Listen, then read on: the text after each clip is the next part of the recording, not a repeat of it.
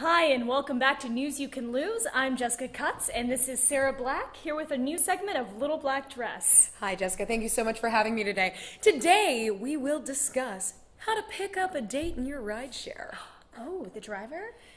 or the rider. Oh. We love riding. Let's go for a ride together, shall we? we shall. So, the first tactic I want to introduce to the team is what I like to call the scout and pounce.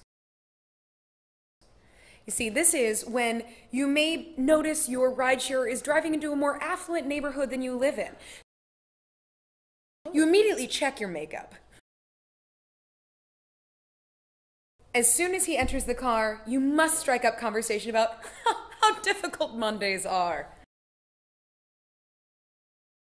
You must decide if you want to get a free dinner out of it or baby trap him. Whether you'd like him for a week or 18 years? Have conversation with him and pretend you're interested in whatever it is he does. Finance.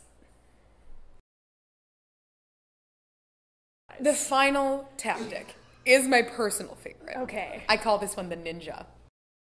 So uh, you say you get out of the Lyft, and he asks why you're getting out as well. Just say the algorithm was so accurate. From that moment, you give him a little space. Follow him at a distance. Yes. Okay. If he goes into a bar, walk in behind him a few minutes and just the fates brought you together. It's so quaint, and it's a meet cute situation. If he goes into a house, wait in the bushes Okay. until he comes back out. again, how convenient! You met on the sidewalk again. What a strange world. The fates are so great. And that's how you pick up a date in your rideshare. But what if his girlfriend Cindy is with him? Killer. What? Uh, no, uh, uh, this only works.